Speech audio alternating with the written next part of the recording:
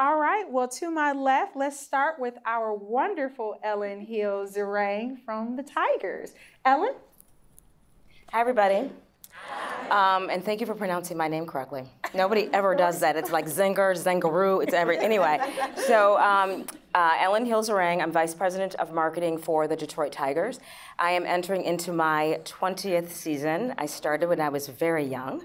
Um, and in my capacity as Vice President of Marketing, I oversee marketing, branding, um, special events, promotions, um, digital, kind of everything that's fun. um, I work very closely with my colleague Molly and also with my colleague Marcia from Fox Sports Detroit. Um, I am a graduate of Spelman College. I have a degree in English.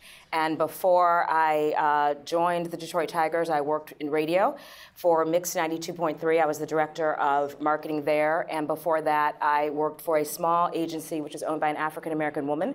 It was a special events, promotions. We did anything we could do in the market in the city of Detroit um, to keep the doors open. The name of that company was Jackie was uh, Vaughn Marketing, and it was owned by Jackie Vaughn.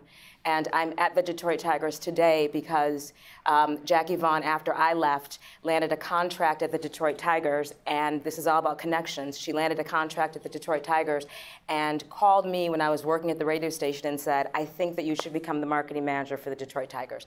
So that's sort of my story in a nutshell. But again, it's about connections. My first boss out of college got me the job that I'm still in today.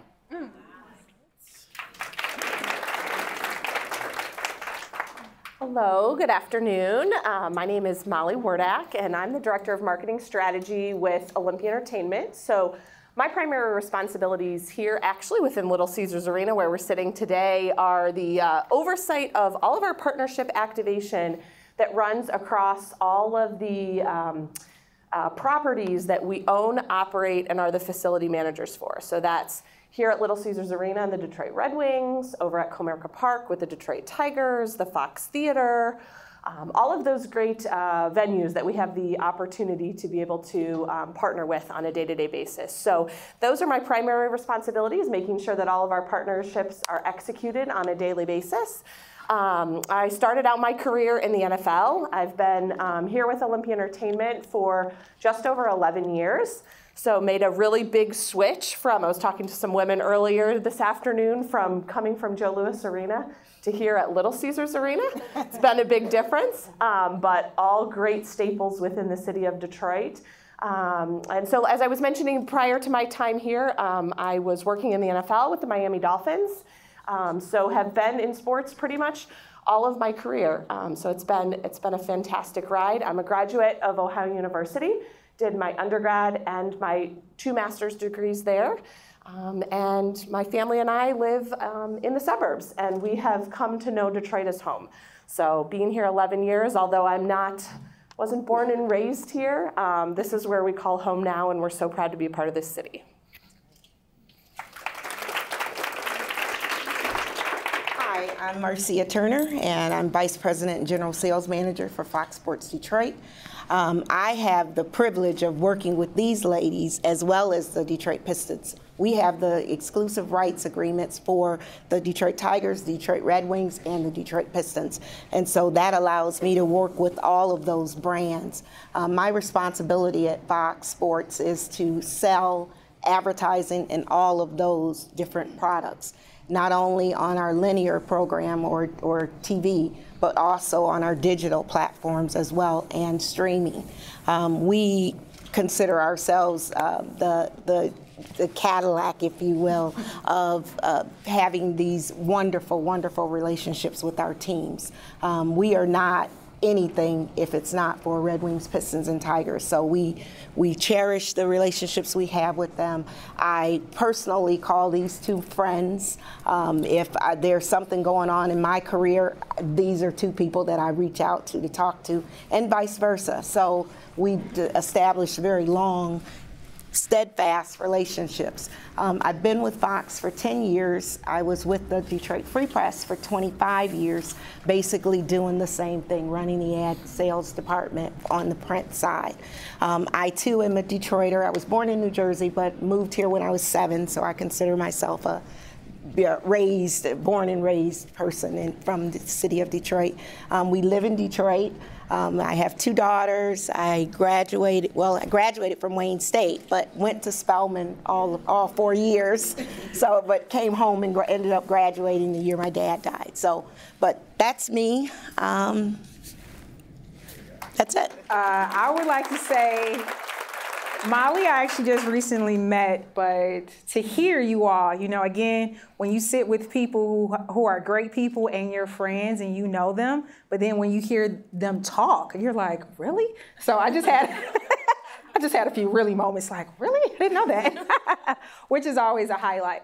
So let's see, where do we begin? Um, it's Women's History Month, so we will get down to the nitty gritty. Tell us what it is really like being a woman in sports but a woman in sports at an executive level because oftentimes we are only the only woman in the room at the level that you all sit at. So as you all have had these wonderful careers, you know, position primarily touching sports in some arena, talk to us about how it has, you know, where you started, what you saw, but where it is now in terms of the progression of how women, you know, are participating at an executive level, executive level in sports.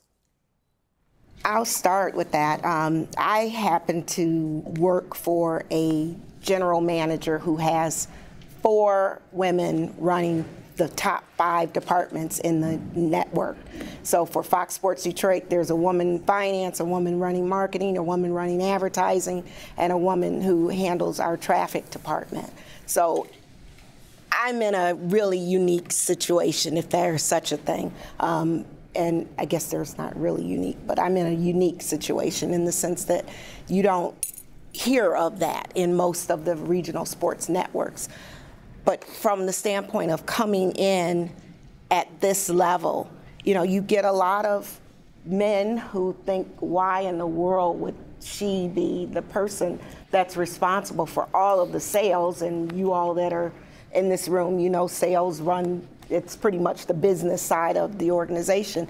But how can she? She didn't play, you know, professional sports, or she wasn't in college in sports, or she didn't come from one of the teams. She came from newspapers. The the the goal in obtaining me for Fox Sports Detroit was to grow our retail business, and we have done that. It's about dollar signs, right? Can this person bring in advertising revenue and represent our product in a way that elevates us? And we doubled the revenue. So I think we did just fine. Marcia is actually being very modest because she's also a GM, general manager, and how many? General sales manager. General sales managers. How many in the United States? It's only. There's there's 12 of us, and I'm the only female. She is the only female general sales manager in the United States. And that is a big deal. And of course, if she's the only woman, that means she's the only African American woman who also holds that position. So, you know, again, in a world right now that is illuminated with so much stress and diversity, you know, good and bad, these type of things I believe are very important to make sure that we note. So oftentimes when I'm bragging about her, that's exactly what I say. Molly, go ahead. Sure. So when I started out in the business, um, unfortunately, I really didn't have any female mentors that I could look up to. I was doing um, an interview a couple weeks ago for a woman who writes a blog um, specifically about women in holding um, executive positions in sports and entertainment. Her question to me was, well, so who, who's your mentor? And while I've had a, a, number of mentors throughout my career, when I started, um, there just weren't a lot of women who played in this space, um, understood that there were opportunities in this space. And so um, really for me, it's, it's really important to make sure I'm continuing to tell the story and forge the path for younger generations um, within the sports and entertainment industry. Because I didn't have that, and while I had tremendous mentors along the way and still do today, um, I never had that female mentorship. Um, and so I think that that's really important. And as we rise to the level at which we're at from an executive perspective, that we remember where we came from and we continue to give back to the individuals who are coming behind us. Because we are going to forge a path just as those before us have done, and we need to make sure that it's the right path for the women that follow in our footsteps. So um, I guess a little bit different take on your question, but um, this is a talk. Anything? but for me, that's that's um, you know there just wasn't a lot of opportunities when I started out, and a lot of people to look up to from a female perspective. So um, that's sort of how I how I look and approach business um, on a day-to-day basis. Everything that I do is about giving back to the people that I work with, that I play in this community with, um, and making sure that I'm setting the right example no matter whether you're a younger generation student, whether you're a female, whether you're a male, um, I want to make sure that my story is told not because I'm necessarily a female, but because I do the right thing every day. And I, I walk the walk, I talk the talk. Um, and that's that's really what's what's most important to me, and I think great opportunities for people coming behind us to look towards. What she said, I agree. um, when I first, this is going to sound kind of odd, but when I first started working in baseball, I don't think I really realized that I was one of the only women because the conversation wasn't out there. We weren't even thinking about where, what are the spaces and places where women are not. And so that's become much more prevalent recently. I think for me, when I first started working in baseball, what was more um, significant was that I was African American. Um, but now, many, many years later, it is becoming increasingly important, and, and, and I'm reminded all the time that I am one of the few women. Um, and I'm proud of that. And I think that's one of the responsibilities that we have as women when we are forging into new spaces is that we have to realize that we have something to bring to the table right? And that we are unique and different, and that's okay, and that's great. And so think about what it is about you as a woman that you're bringing to the table that is different and that can change the conversation. So I frequently tell, when we're talking about marketing in my office, this is a huge joke, I frequently tell my team, when we're talking about something, I say, okay, but what does the single mom in Ferndale with two kids think about that? Can she afford to come to the game? Was she, were her kids like doing that? Because I believe very strongly that as a woman, I'm at the table for a reason to keep the conversation going. Same thing I feel about being an African American, right? So I have a responsibility of who I am to keep the conversation going in, about things that haven't always been discussed at the table. I'm also, like Molly, super, super, super excited about the incredible number of women that I know that we have at Fox Sports Detroit, but particularly at the Red Wings and, and the Tigers. We have so many young women, and it is exciting to see these young women, and several of them are back there in the room. Um, so many young women that weren't there when I was there, and I just believe the future is so exciting for what I know they're going to bring to the table. Um, they're much more educated than I was in terms of sports. They all have these great sports degrees and stuff like that. I, you know, I just came to the table because I could do marketing, right? And it didn't exist. Mm. So I'm thrilled about that, and I also, like Molly, am committed that. I'm here because I did have two great mentors, the women mentors. They weren't in sports, but they were amazing women who mentored me from a business perspective. But I do everything I can to make sure that I'm reaching back and helping to educate and helping to have those conversations. If it's the yes, you need to take the yoga pants off conversation, I'm the one to do that, right? Because I think the world is, I think we're in a crisis. We're in a yoga pants crisis. Um, so I'm the one that will do that. I'll also talk to you about, uh, right, and, and, and flip flops. And flip flops right? So it's, it's important. So I will have those conversations because somebody did that for me, and that's the only way we're all going to survive as women and, and continue to make great contributions in sports.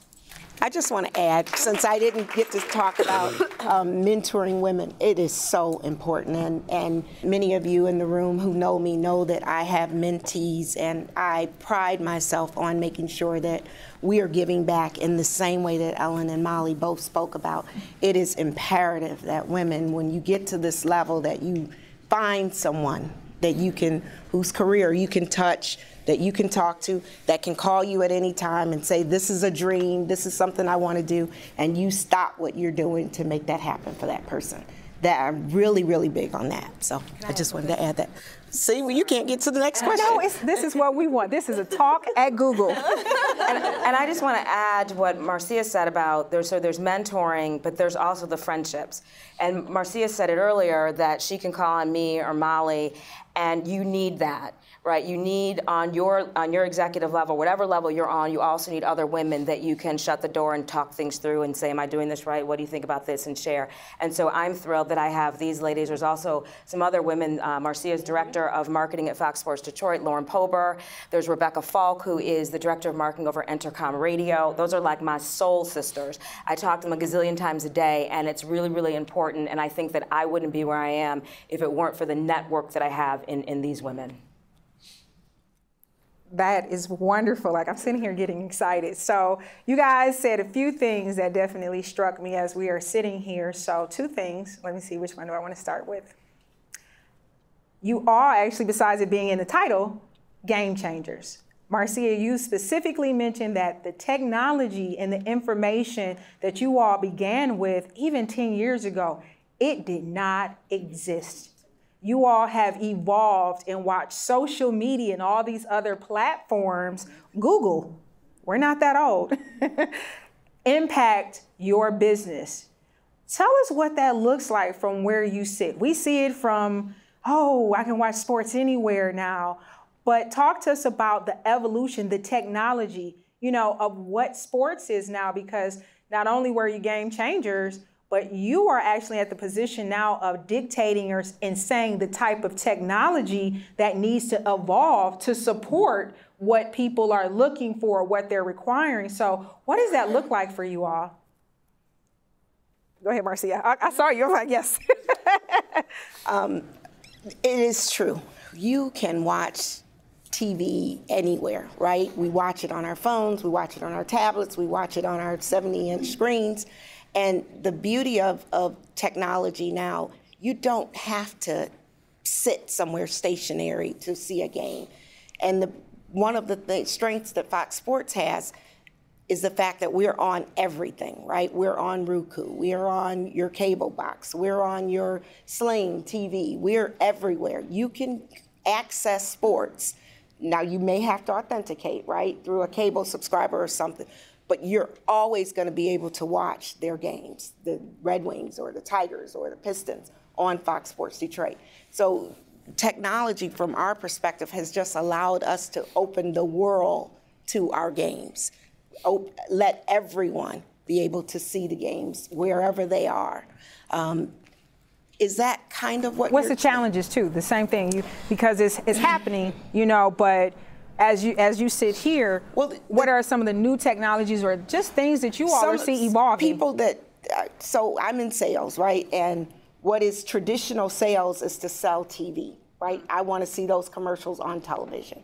And it can be a struggle for some because they feel that we're competing with ourselves when we sell streaming. Mm-hmm. It's okay, that's a, a lesser rate. It's maybe not as conducive as as TV would be to a major agency. You're certainly not going to get the dollars from that standpoint. But the reality is, people want to see it where they are. They want to watch TV where they are. And we have to be able to grow with the fact that you're going to get less money for that schedule, but it's beneficial to our company and our overall way in which we're doing business to recognize that we need to sell digitally and we need to sell streaming and we need to build those packages just as we with what we started with regular TV. So so, uh, on the from the sponsorship perspective, um, it's certainly changed in the last even five years, but even ten years. And where we were ten years ago was really the basic the, the sale of, of what we would call in the industry spots and dots, right? and, and that's what it was about. And that's certainly still a component of selling partnerships and activating partnerships now. But um, what's becoming more and more prevalent is the desire for brands to be integrated into the brand in which they're partnering with, to have a connection. And that is driven so much through social, digital, web, all of those kinds of things. And so we need to continuously be creative in thinking about new assets that we can help bring to these partnerships that live above and beyond, you know, a sign on a wall or an in ice logo. Well, all those things are great and, and very important. They provide extreme value and exposure to partners. Um, it's about that extended and next level connection to the customer that these brands want to partner with. So, our ability to have engagement with athletes and how does that come to life through social opportunities? Our opportunities to be able to, if you uh, have been downstairs in the concourse at Little Caesars Arena, to look at augmented reality virtual reality, how these kinds of things come to life within your building, within your brand, are, are really important. And I, I think um, augmented reality, virtual reality specifically, are two really big areas. While not totally new technology, they're definitely pieces of technology that can be taken to the next level, especially from a team and a building perspective, um, that we're going to continue to look to see how we can leverage uh, moving forward. Um, I, would say the challenge is, while, while similar to Marcia, is certainly the adoption of the new products. Um, it also requires a pretty significant investment up front sometimes. And so to be able to create the story and um, be able to communicate what the ROI is to your leadership about how this is going to deliver on the back end, not only financially, which is most of the time the number one and most important thing, um, but also how it's going to create that extended connection to the customer. We talked, Ellen and I were actually in a meeting this morning, and we were talking about experiences. And it's not just about coming to a game anymore, it's about the experience that you have with your spouse, with your son or your daughter, with your neighbor. And so all of those pieces of technology can help bring that experience to life more and enhance it. And I would also, to sort of add on to what Molly is saying, it's also about. Um, so I don't know how many people have used the little, the district app not the ones who work for the district. Okay. okay, that's a shout out, Ellen. Shout Tell out. everyone what we should download or what we should the be experiencing. App. Well, particularly because you're in this building. So the district app is amazing because it really helps to change the way that you navigate and experience the arena. It's like your personal little guide is right there with you and it gives you parking information. It talks about merchandise. And also, if you download the app, you can get, correct me if I'm wrong, Amanda and Molly, you can get um, there might be different discount offers that you might get at times programmed into it. My point is this that the way cu- the customer expectation in terms of how they navigate arenas and ballparks has changed dramatically. And so that's what Molly is talking about. She's talked about from a sponsorship standpoint, but I mean from just from a customer service experience. There's lots of things that we used to do. Um, or lots of things that um, we just the way that we interact with the places that we go has completely changed. The other thing I want to say is that it's all about content. That's the biggest thing that has changed from a marketing standpoint. Um, the social media group falls under my responsibility at the ballpark, and we just hired a, um, a content producer. And all he's down in spring training, and all he's doing is creating these videos, videos, videos, videos, because we have to grow our social platform. And that is totally different than what it was like when I, fir- when I first started working at the Tigers we used to take the newspaper clips and copy them on the on the copy machine and pass them around, and that's how we knew what was going on in the world. Okay, hello. So I've been there a long time, but think about it now. We as a brand have to come up with content, and the other thing is that a couple years ago, you know, the ninth inning, turn the lights off, go home, that's it. We report back at 9 a.m. in the morning. No, it is 24 hours, seven days a week, and we have to be able to drive content, add content, and then also monitor player content, monitor what customers and consumers are saying about our brand and how we interact. So I would just say that we have become just a 24 hour, seven day a week business because of the impact of digital. I just want to add something about content. As Ellen was talking about our social media platforms, those have grown just exponentially. And we have a social media manager who is 24 7. Mm. Courtney is posting and engaging with fans about the three brands that we represent, but it's a constant process. And in addition, we have all had to become much more familiar with social media platforms. I mean, I used to use Instagram to just monitor my daughter's Instagram. Now I, now I'm like a real player on Instagram. You know, I'm following people, I'm watching things that are going on, but it also is important to watch what's going on in our industry through Instagram and Twitter, and I've got followers, and it's just mind-boggling that I'm in this space today when I too copied everything off the newspaper, cut, the, cut it out, sent it to all my clients, would run over to the Detroit Tigers and tell Ellen, did you read this? You, your marketing, you really should be buying this in the newspaper. And that, that's how our world was, but it's no longer that today. And so Fox Sports continues to evolve, if you will, with our social platforms as well as our digital platforms. Can I just add one quick thing? And the other thing is the the one thing that we're still competing with is the live game experience. Uh. So there's all these wonderful ways for people to watch the game. The game can go with you. You can do out. You can pause the game. But I still want you to come to the ballpark. Absolutely. I need you to come to the ballpark, and I need you to enjoy the green grass and have a conversation with your friend and have a beer, have a hot dog, um, have a Miller Coors product. Um, I need you. have a Pepsi. Have a Pepsi. Um, Little Caesars Pizza. Um, but that's important, right? That's that is really our biggest competitor from a marketer, marketing standpoint. Is that people can take it with you. And that's great, but I also need you, and I think Fox Sports Detroit is great about this, is that they understand that there's an intricate balance between promoting the digital interaction with the, with the product and also with driving people because they don't want an empty ballpark any more than I do because it, show up well on TV. it doesn't show up well on TV. It's not fun, right? So together we were figuring out how to create this method or this model so that we're driving people into the ballpark to experience it live, but also asking them to enjoy it on their mobile devices so that we can integrate different messages that we need to so that Marcia can deliver and my group, our, our sponsorship group, Molly, can, can get what they need from a, from a sales standpoint how do you all juggle it all?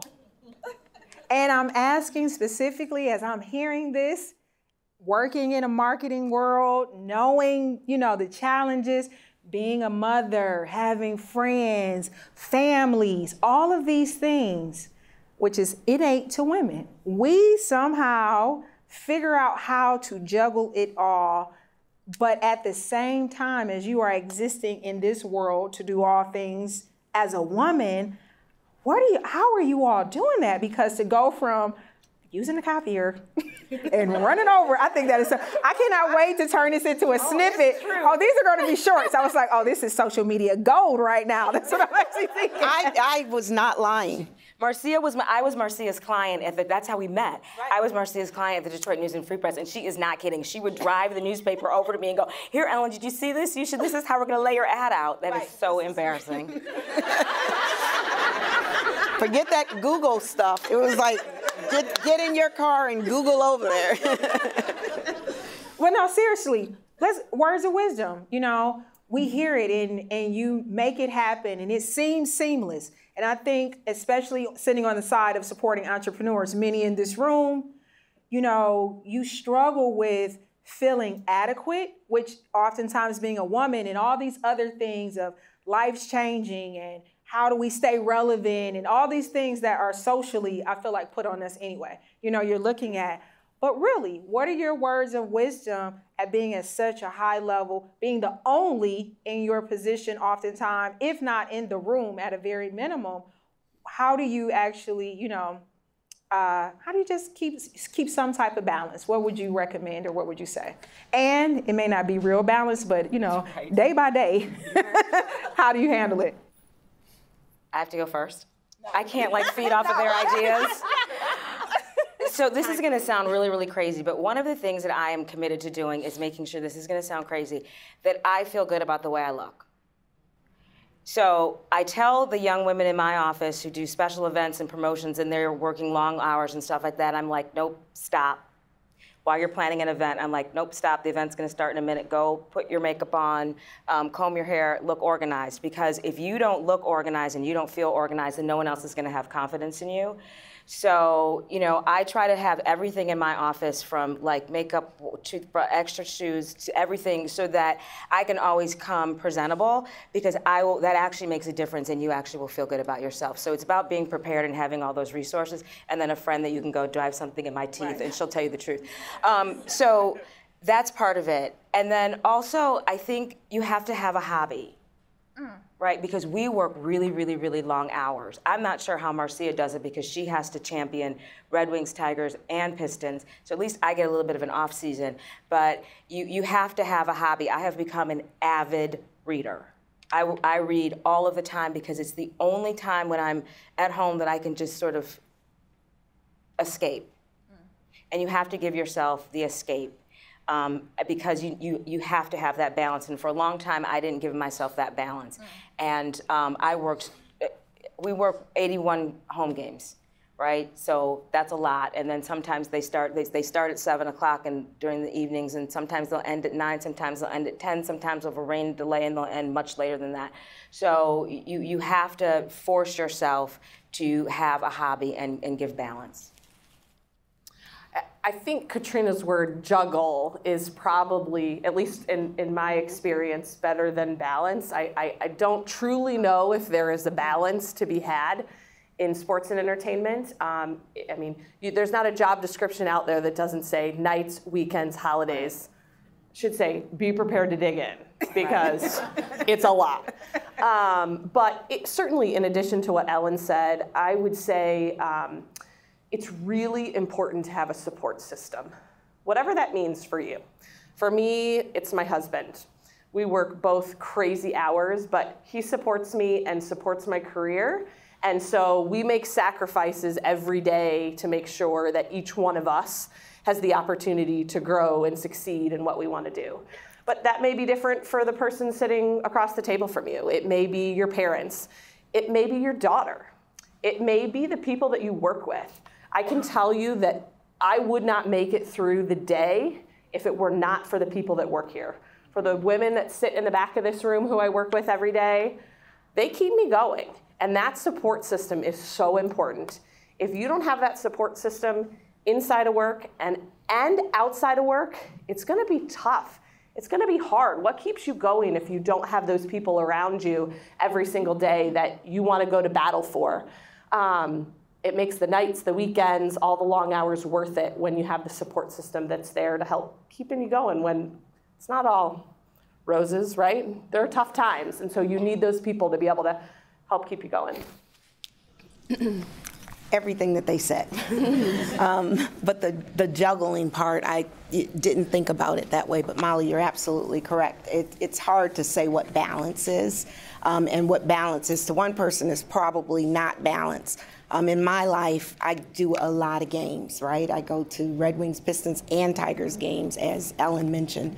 And then I, you know, I've got two daughters. You know, I, they're 27 and 20, and both out of town now. So I'm really that empty nester. But I adopted a dog, so I'm really not an empty nester. she is super important. But and so life balance even includes the dog, right? My mother comes to my house every day from 11 to 3 just to kind of see after the dog. She misses her grandkids, but she thinks the dog is good. She thinks the dog's cool. But I, I, I also want to add that having good friends, um, people in the business, people out of the business.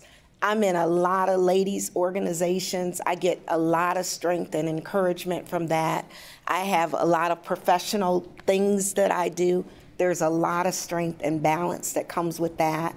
Um, and then I, I am a golfer, you know, and so I've picked up golf maybe 20, 25 years ago, and I on Wednesday nights, I play with my league and I'm there every Wednesday. And I move things around so that I can make sure that I do the one hobby that I enjoy, that I do that. And so I think you have to find things that you, you enjoy and make that a part of your life. Oh, I thought you were going to I was just gonna say, and also create a schedule. So like, I get my hair done at 6:30 in the morning on fr- on Fridays, so that she just went at 6:30 in the morning on Thursday. But that's so that I don't have to. Hair's important. Hair's important to me, but I don't have to deal with that in the middle of the week, in the middle of the day, right? Marcia goes to yoga at 5 a.m. in the morning. I'm supposed to, but I never make it. But Marcia goes to yoga at 5 a.m. in the morning, two days a week, so that she can get that out of the way, so that she can then start her day fresh. And the th- the maintenance things are out of the way. So it's kind of important to think about your schedule and the things that are important to you, and how can you create a day so that you can get all the things in that you need to do and still feel really good about yourself and think about expanding you know 6 a.m is really not that early it's not that early to get my hair done it's kind of early for yoga but anyway Get to yoga, Ellen. she's going to call me tomorrow morning get to yoga Get to yoga. Okay, so I'm gonna switch it up a little bit before we answer, or open up the floor for answering question because Ellen actually has a hard stop. I, I just feel so privileged right now that you all were able to come together and be clear. Part of them being able to come together was related to opening day. Everybody, I was like, so how is opening day affecting everybody's schedule? No, not that week, not that day, spring training. I was like, this is real. You know, when you in their lives, you know, we look at sports and it's so glo- glamorous and, and glorious as you see it. But when you get to the business side of it, and I can say from personal experience, sometimes I'm like, you have another game today? As much as I like sports, I'm like, you do? You are where today? but, you know, definitely a highlight and a benefit. So we'll do a, a little bit just quick round robin just to hear, you know, a little, and whatever comes first to your mind. So, as I'm looking at you, Ellen, I'm just teasing. who are you? Like, one word, who Ellen is? a friend Strong. You guys keep doing Mike. Compassion. Okay. I'm a compassionate person. When you are making those hard decisions and having those tough conversations, who are you then? You know, I this d- One really word. it requires more than one word. That that requires more than one word. And I it's interesting that you gave the mic to me and I said compassion. When I am having a rough time or you know you have employees that are having a rough time or you have issues that are going on, I'm still compassionate. You know, and um, one of the podcast. I look, listen to a lot of podcasts. If you guys don't do that, you really should do, listen to podcasts. They're really great. But um, I was listening to a podcast with Jeff, Jeff Weiner, who is CEO for LinkedIn, and he talks about compassionate leadership. And as I'm listening to this guy, I'm like, that's me. I have literally fired a person and went and had wine with them that same evening. It doesn't take you. It does, you don't have to be mean. If if someone is not doing their job, then you need to. It's on you. You need to either figure out how to train that person to do their job, or how to find a role that perhaps they would be better suited for, or find a way to transition them out of that role. Right? I mean, it's it's not. It is personal, but it's not personal, right? It's about whether or not this business is right for you. And I think you can do all of that with compassion. Before you answer, Molly, that is such a good point because Women's History Month, Women's Panel, men traditionally do not have to explain that. When we talk about hard conversations, we talk about, you know, butting heads, working for opposite teams, all of those things. When it comes to men, generally, it's almost celebrated like, hey, you know, they had a hard conversation. I had to tell them how it is, but we went out to dinner afterwards. However, when a woman who is the executive, the president, or the CEO, now it becomes a conversation because it was, oh, she fired me, and now it becomes something else like almost, how dare you? And many of us, even if you haven't experienced it personally, I know you've probably heard the story. So just a, you know, that really resonated well with me because I think about my career. And I was fired one time when I was younger, and he told me, Kay, you gotta go. And I just looked at him like, oh, I think I. But to this day, Mr. Johnson, hi, Mr. Johnson, still love him to this day. It was the best thing because I was going through my, t- I was actually just coming out of high school and all that. But he fired me, and it was okay, and he made me stronger. And he ended up working together with him again as I go. I still go see him and all of those type of things. But being a woman, we, you know, that's just one of the things that just touched me that we typically don't have to explain, but you're right, the, the description of it when he fired me and I experienced experienced that, he was naturally still, it was almost like I knew it was with love. I knew I needed to step it up. He was frustrated and he did what he had to do. And it was one of my best life learned lessons. Normally they are. Mm-hmm. Normally they are when you have to make that kind of a decision, but I won't. Thorough. Molly's like, and she said one word.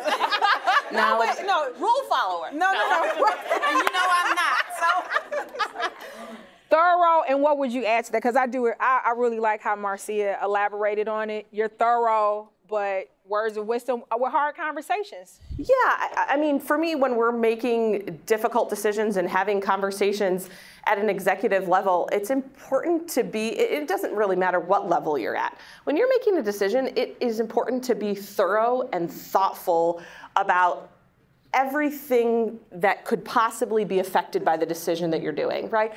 In your, in your personal life, in business, right? Every decision that you make has consequences, has repercussions, whatever it might be, has positive outcomes. So being thorough and thinking through all of the possibilities is really important. It's very easy to be able to be first to judge, to be first to talk, right? But how do we take a step back and listen, absorb, think about everything that, um, that may be uh, a result of the decision that we're making, and then make the decision? So you're gonna you're think you're gonna think I was cheating. I wasn't. I was gonna say knowledgeable, and that is similar exactly to what um, Molly was saying. To make sure that that I have asked the second, third, and fourth questions before I make a decision, and to make sure that everything has been thought through and and exactly what Molly said. Okay, I cannot believe we're at 152 so fast. So I am actually going to open the floor for questions. I think this is a perfect time. We've definitely touched upon a few topics. Um, I did not say this at the beginning. The hashtag, of course, is Google Digital Coaches. I'm totally giving myself a uh, plug.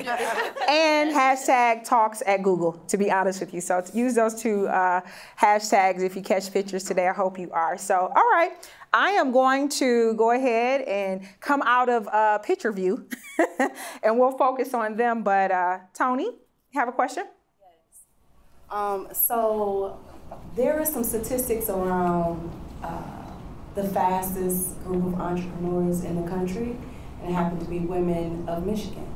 And so my question is, how engaged are your organizations or yourself personally with the startup community of female entrepreneurs here in Detroit, if at all? I just went to the lip bar. If you haven't been to the lip bar, guys, that is so cool. I, am like, oh my God, this, but I'm telling you, Detroit is just a cool spot right now, right? And there are so many different places that you can go um, in the downtown area and in Livernois in neighborhoods that are owned by women. So I, if I read about a place, I try to make it my business to frequent the Woodburn, Woodside, Woodburn um, Spa, Wood Spa. Um, another woman owns that. Um, there are tons of places, and I, I try to look for them. I try to search out, you know, making sure that I'm giving back to the community in which I live in. Um, I volunteer a lot, I, so I, I got that covered.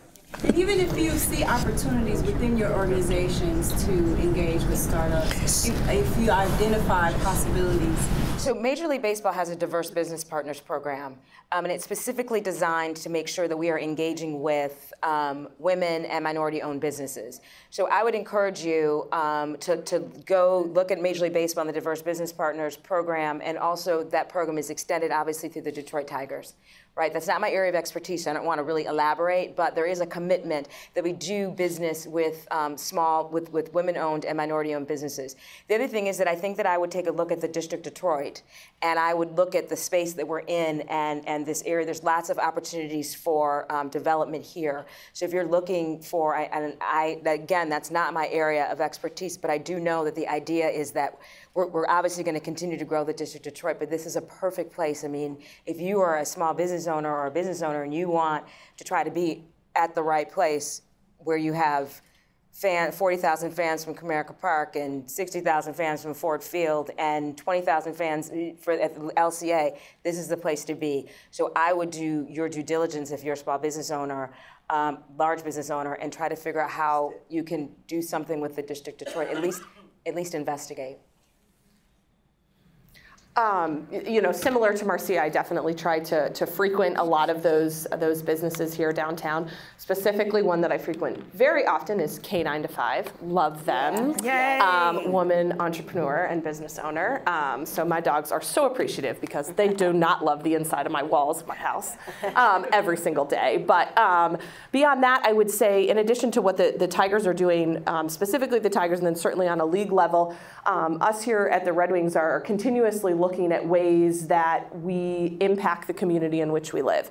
And moving here to the District Detroit has opened up a lot of opportunities for us. And so, um, if on our website there are um, there's a whole showcase of of areas in which we are touching the community that we work in, um, and always looking to expand on on that work. Um, so again, similar to Ellen, this is not my, my area of expertise, but I, I, did oversee community relations for a couple of years, and the individual who runs that is a fantastic gentleman, Kevin Brown. Him and his team do a lot, and he is extremely passionate about this city and um, the work that us as an organization, the Detroit Red Wings Olympia Entertainment, can do to impact the community that we work in. My name is Antonese. Oh, it went. I think that I can speak loud.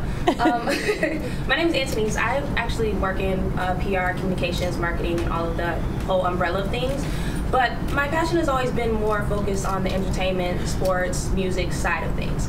Now, granted, it's very difficult, obviously, to get into those types of fields, especially as a woman, young woman, woman of color, you know, just different types of aspects. So, if you, you guys have given me some great gems to take home, but if you could kind of let me know what kind of spaces, people, or organizations, or things I should look into to try to find those types of opportunities to work in it. Are you still in college? No. I'm okay, still, I'm so you're now. I'm a senior account executive up the street at a PR firm, but just kind of looking for you know advice. I, I mean, I, I would tell you like I tell my 28 year old, if you're waiting for someone to come and find you, they won't. So go find what it is that you're looking for. If it's, um, I want to work in TV, find someone on TV, write them a note, send them an email. I answer all of my emails.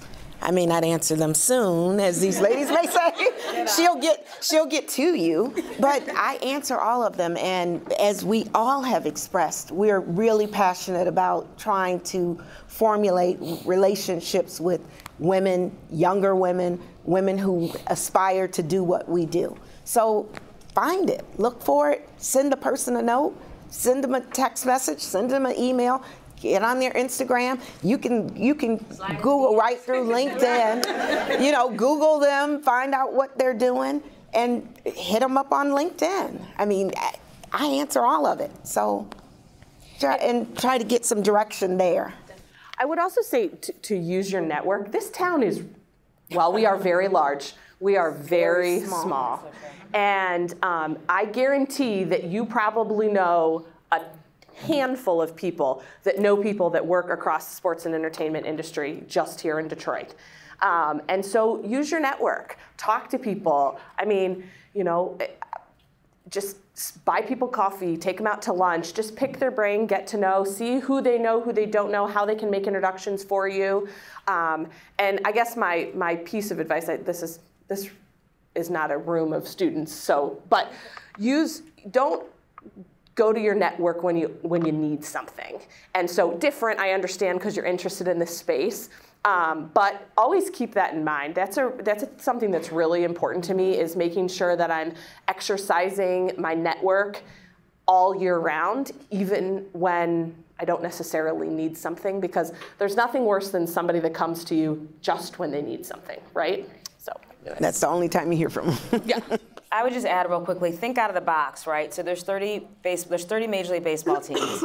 so there's only 30 of me. So you have to think about what are the other companies, programs, products that touch sports or touch entertainment. I always tell interns that. They say, I want to work in sports. I'm like, okay, well, that doesn't mean you have to work for a team or for a league. It means you could work um, in broadcasting or you could work for a, a, very high level partner corporate corporation that invests a lot in um, their sports sponsorships. So there's all different kinds of way of looking at sports and entertainment, not just the traditional ways.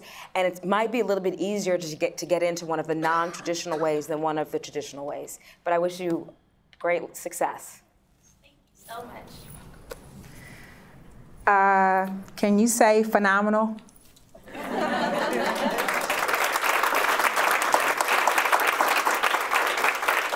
phenomenal women, phenomenal, phenomenal for so many reasons. And I want to say thank you all. Thank you so much. Uh, as a lady, I'm getting a little sappy here, a little teary, so we're going to going to pull it in. but again, I have the opportunity to speak often.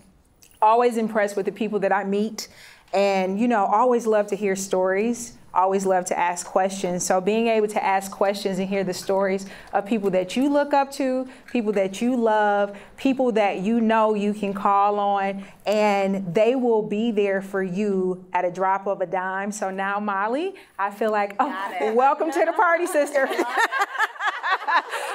and it feel it feels good because we're in a space right now, and I'm entering that space too. It's a little bit weird for me but I'm there too, where when people call me, it makes me feel great that I can answer. Trina, I need, yes, what is it? Give me 15 minutes and I will call you right back. And generally, I'm a pretty good connector, and it's because of you know the leadership, the mentorship, and the things that have happened in my life for women like this who sit here who have made it happen for me. I've always told people I give because those gave to me when I was not deserving even when I did not deserve the opportunity. So I felt they saw something in me and said, It's okay. It's okay.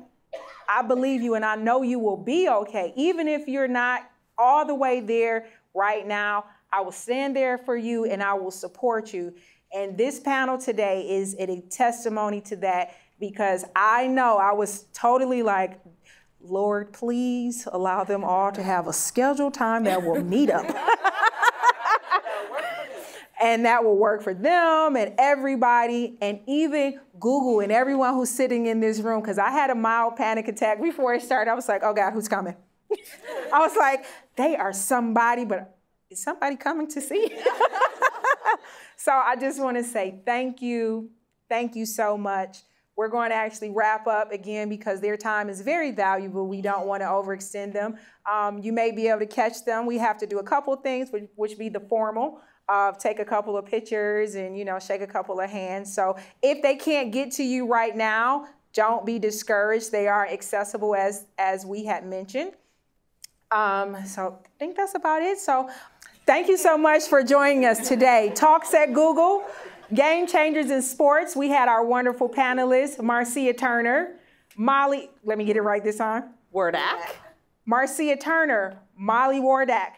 Ellen Hills Zeringue, thank you so much for joining us for official Talks at Google, sponsored by Google Digital Coaches Detroit.